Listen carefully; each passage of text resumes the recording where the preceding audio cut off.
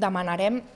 una reunió urgent de la permanent del Consorci per abordar quin és l'impacte en els centres educatius i com veure alternatives i solucions en aquest, en aquest sentit. I en segon lloc, el que també demanem no només al Departament d'Ensenyament, sinó